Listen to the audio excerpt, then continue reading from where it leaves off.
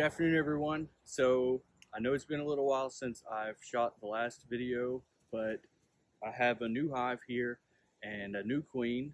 I also have my old hive, but it was growing so much and I had to make a split and it's a whole long story and I have to tell you guys about it in another video.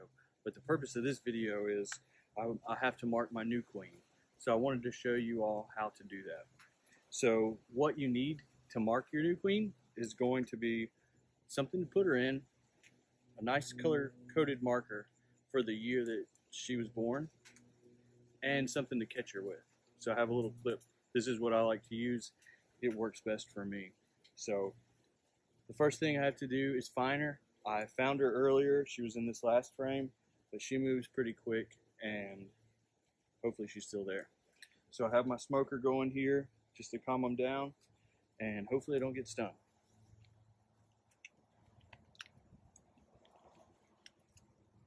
So let's catch a queen.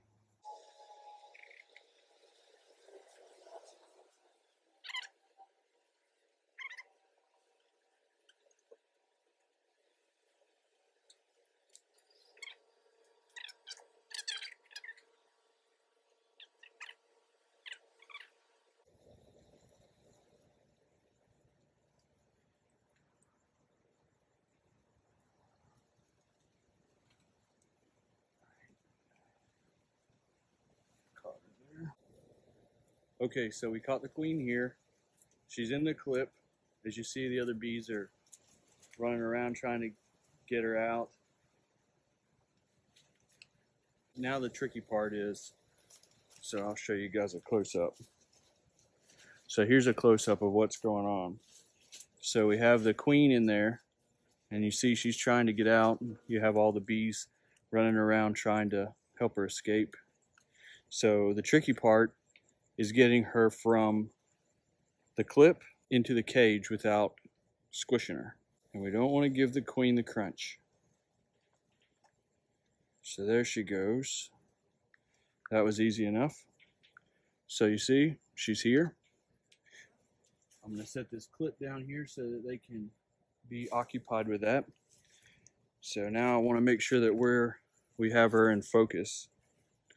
So now you can see she's climbing around there. So what we're going to do is you're just going to take and easily slide this up.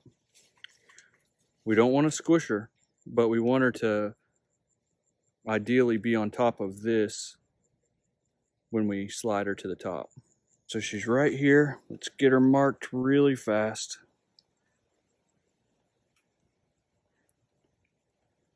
Got her marked.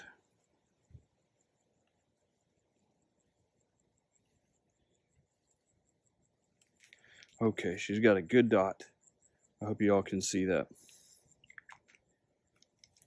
All right, I'm gonna just let that dry just a little and slide this down so that she can still move around. And that's all you have to do to mark them.